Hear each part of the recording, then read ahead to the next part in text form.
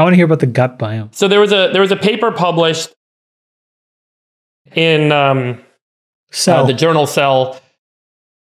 The paper was done by a research team out of Herzliya. So I'll I'll take a step back. The human body is made up of roughly 10 trillion cells. Um, and there are also somewhere between 10 and 40 trillion bacterial cells that live in your body, primarily in your small intestine, in your in what people call the gut biome.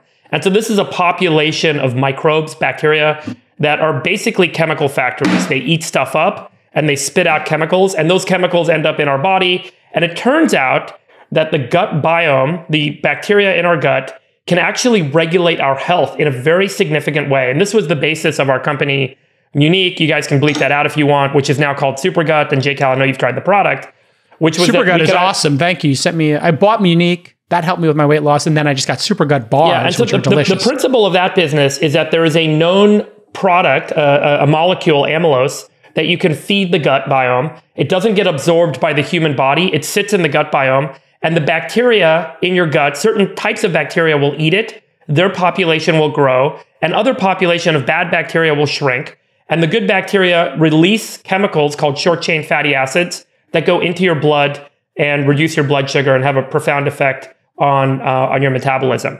And there are also known gut bacteria that can regulate your sleep, your mood, your anxiety, your energy levels, and um, uh, your glycemic control, the control of blood sugar. So it's, it's an incredible. are incredibly you per- telling me? Are you telling me that Cialis is uh, a natural compound? Is a bacteria? Look, Wait, are, I you mean, tell- so- are you saying we have to cancel our Cialis prescriptions? oh no! yeah. So guys, there's there, there's a known um, there's a known principle that's really deeply studied now in neurology, uh, in, in neuroscience, um, uh, called the gut-brain axis. That you can actually profoundly affect um, disease and the condition of the brain um, and uh, and neuro conditions by changing the gut biome. And so this is this is something that's just being studied. The reason it's it's all coming to light in the last few years is because of the cost of DNA sequencing. We it used to be very very expensive to sequence the DNA from your gut biome, which you do by looking at your poop and then you know looking at all the DNA that's in the poop, and that tells you what your gut biome, what bacteria in your gut. That used to cost a thousand bucks. Now it costs five bucks. And so in the last couple of years, there's this absolute explosion in research into the gut microbiome, and more importantly, how the gut microbiome affects human health. So this particular paper looked at the effect that eating um, artificial sweeteners had on the gut biome and on human health. And so what these researchers did is they um, they took 120 people, they gave them nothing or gave them sugar or gave them saccharin or sucralose or aspartame or stevia, the four most popular artificial sweeteners. And then they looked at how their gut biome changed.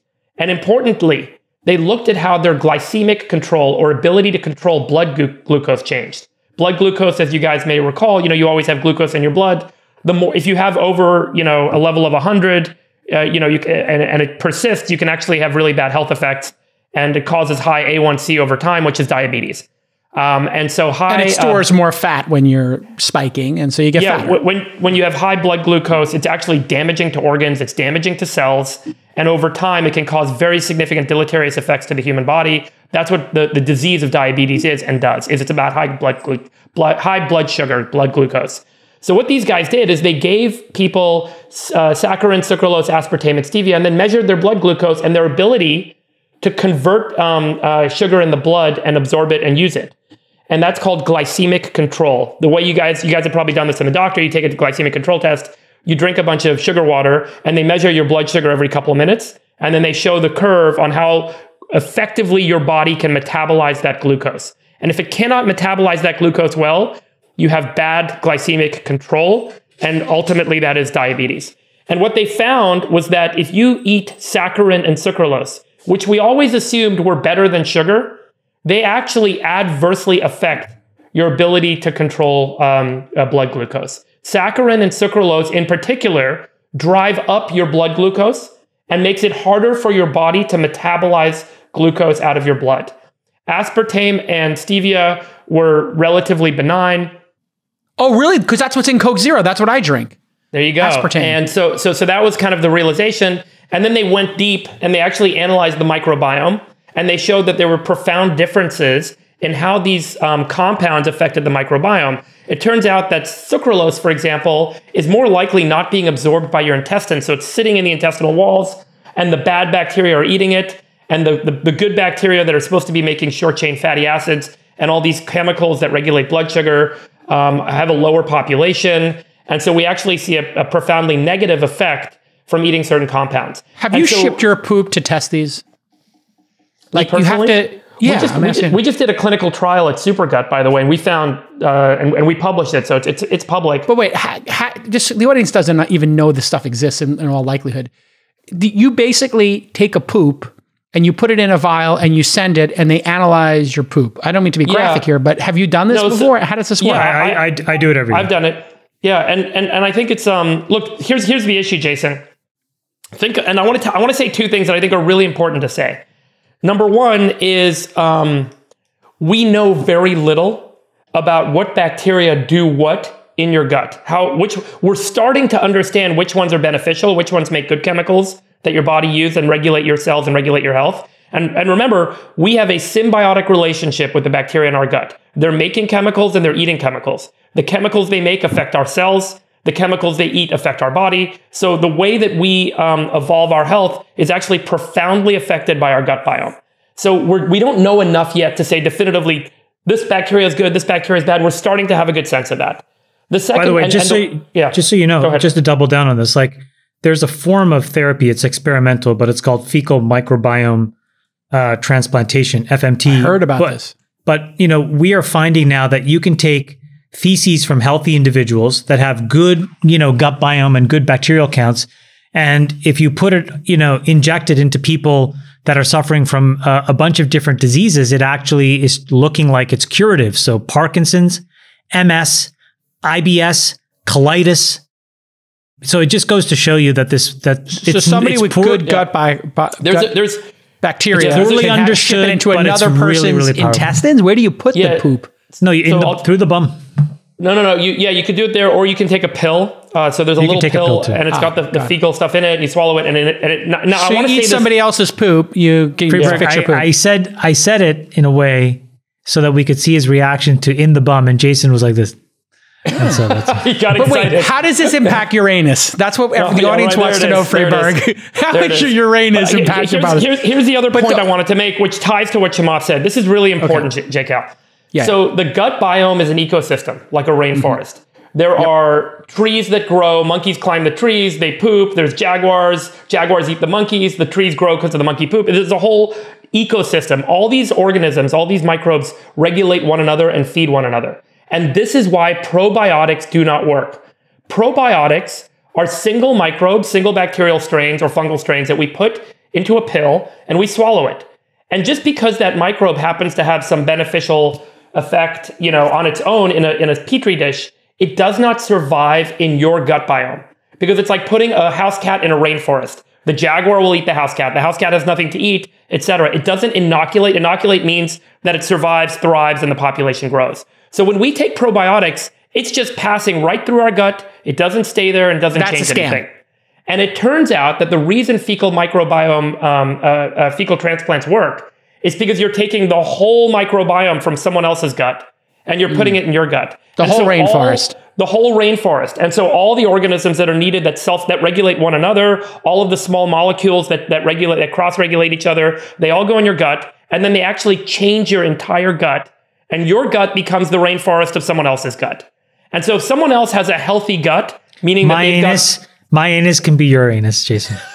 Wait, There it is. So we put our anuses together, and then a monkey goes between them, and then the rainforest is. Well, let me ask two questions. The FDA has not approved any of this yet. When will the FDA be approving these treatments, etc.? There are a lot of cli- there are a lot of clinical trials going on for fecal transplant. UCSF has a huge clinical trial for MS, as Chamath pointed out, right now, where they are actually doing fecal transplants on patients without MS into people with MS. And significant, you know, the early data of these sorts of treatments has indicated that there can be a very profound effect on the frequency of lesions appearing on the brain, uh, which is uh, one of the primary symptoms of, of a MS.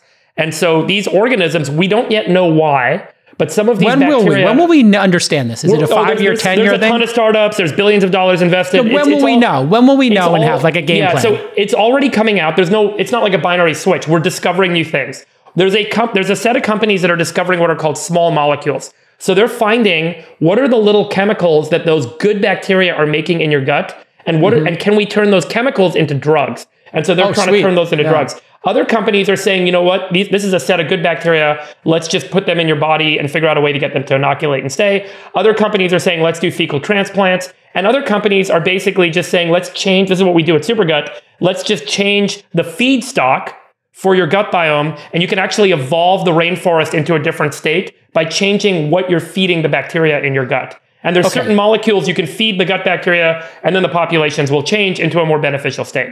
Why are people saying like eating, drinking kombucha and fermented um, vegetables, pickles, whatever, uh, apples are like great at fixing your biome, and then taking sugar out is good for your biome? This is another thing I keep hearing. Like eat more fermented people foods. people are are are making single point it up? claims like that because they have invested in a lifestyle and they want to defend their choices. it's the- not to say reason? Yeah. it's not to say that those things are bad. Those are all good, but I think what we know and the fecal transplantation is the most simple way of of pointing this out is that it's a broad scale holistic approach that gets the best results. So as you know like if you if you had if you've had a kid that's had, you know, diarrhea for example, right? You know, sometimes what we'll do now is instead of giving the kid some sort of diuretic suppressant, what you actually give them is um, a probiotic, right? And what you're trying to do is to reintroduce healthy bacteria into that child's stomach in a way that allows them to self manage and self heal while the bad, you know, uh, diarrhea causing stuff kind of gets washed away, as an example. So, will one thing be a cure all for you? No. I think that you should be very skeptical of those claims. That's why everybody says a healthy, well balanced diet is really important because we do not know conclusively. This is why, you know, I, I tend to believe that the broad, holistic diet works the best in moderation Yep. because you just don't know what you're not not, there yet. getting. We don't know that, you know, we don't know, you can't say conclusively that there isn't a form of bacteria that is created specifically when you consume animal protein that is extremely helpful to you. We don't know that that's not true. Not now we don't know that that is true either. Right? Start- yeah, And so- and there's a ton of research going on to try and figure that out right now. Have we figured out any of it though? Like Yeah, yeah, this whole of- I mean, turmeric we- ginger movement. Yeah, we could we could do 12 episodes on this. There is so much amazing discovery happening. This is a good paper to highlight that, which is like, hey, maybe avoid products uh, that have saccharin and sucralose in them. But my my Um, my big thing is there is no diet, whether it's keto, whether it's the South Beach diet, whether it's specific vegetarianism, whether it's veganism. Nothing is a cure all for what ails you. There is nothing.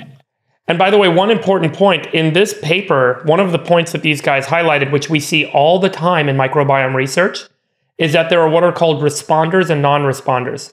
That within a population, it's not like everyone that eats sucralose has the same negative effect. Some people have a really negative effect, and some people have a mild to moderate to neutral effect.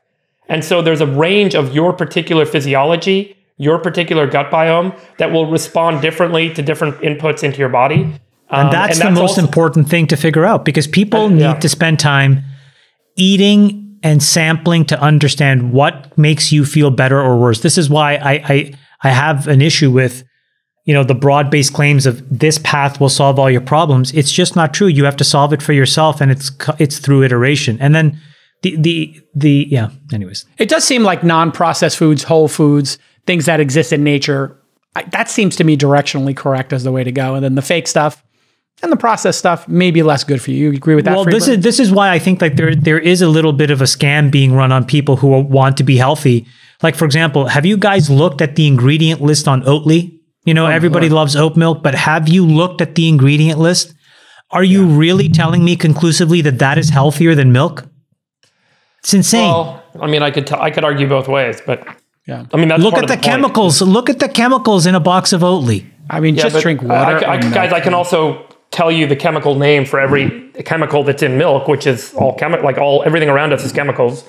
So you know, I, look, I mean, understand. I understand natural chemicals, but you Yeah, I mean, understand like- synthetically made, man-made chemicals that are explicit that have to be put on an ingredient list because of its danger in high quantities should be treated slightly differently, in my opinion. All right. Yeah, Well, look, I I mean- O- Oatly's just gave us three subpoenas. We're all fucked. We're being deposed by Ollie now.